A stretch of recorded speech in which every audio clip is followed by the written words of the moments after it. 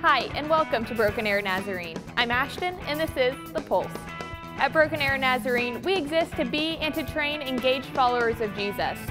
We believe the best way to do that is by gathering together on a consistent basis, growing in our faith through learning and friendship, serving the world both locally and globally, and multiplying by inviting people into a relationship with Jesus. Here are some ways we make that happen.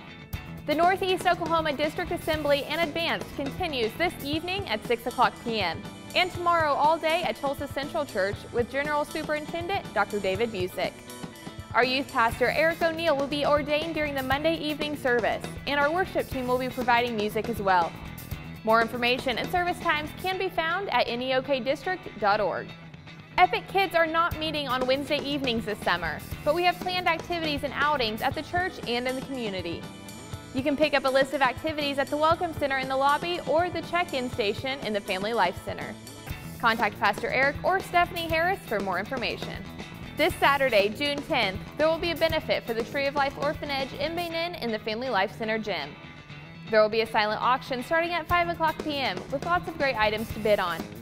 All proceeds from the evening will benefit the orphanage and the project in Benin through the Tree of Life USA. Contact Jill Gibson for more information. District Youth Camp is coming up from June 15th through the 19th at Camp Bond. This is going to be a great time for grades 6 through 12. Corey McPherson will be speaking and Remedy will provide the music.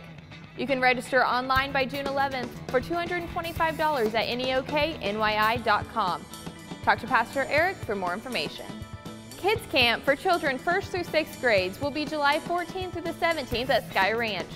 It's going to be a great time of worship, fun, and friendship. Sign up your child by June 16th for $210 and talk to Pastor Eric for more information. You can find out more about our church and information about these announcements in your weekly bulletin or online at banazarene.org. Thanks for being here and thanks for watching. I'm Ashton and this has been The Pulse.